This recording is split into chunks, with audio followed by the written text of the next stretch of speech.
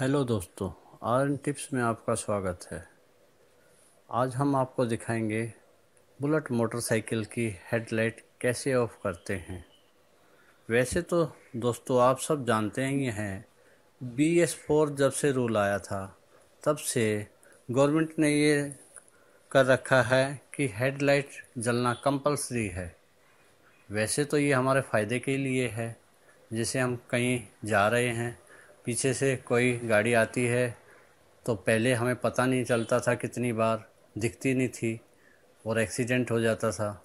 जैसा कि आप लोग बताते हैं कि याद नहीं रहता, हेडलाइट जली रहती है, बैटरी वीक हो जाती है, या फिर सेल्फ लगाते समय बैटरी ऑन होती है तो फिर बैटरी वीक हो जाती है। तो इसलिए कोई स्विच ना लगाते हुए या कोई वायर ना काटते हुए आज हम आपको दिखाएँगे बाइक में हेडलाइट कैसे ऑफ़ करते हैं?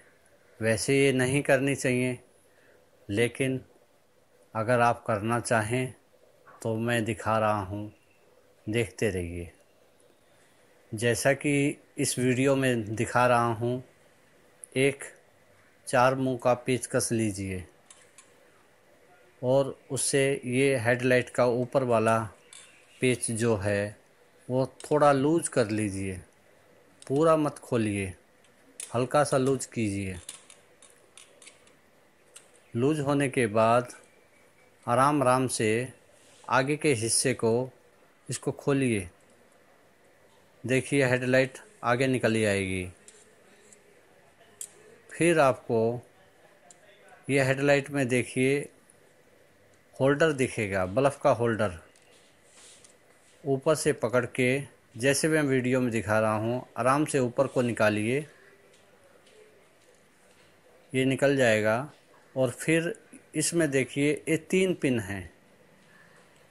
इन तीन पिन को ना, जैसे ये लगा हुआ था, उसके अपोजिट करके लगाइए।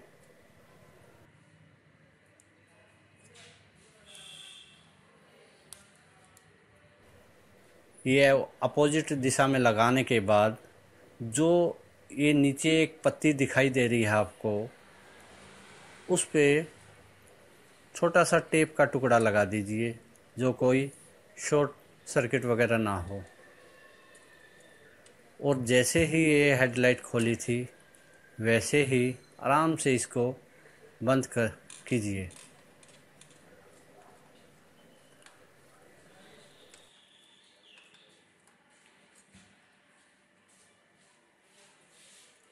देखिए, अब बाइक का स्विच ऑन करके देखिए। ये आपके जो ये स्विच है हैंडल में, लो बीम, हाई बीम वाला, इससे इसका कनेक्शन हो जाएगा। कनेक्ट हो जाएगी इससे। आपका आर एन टिप्स में जुड़ने के लिए धन्यवाद।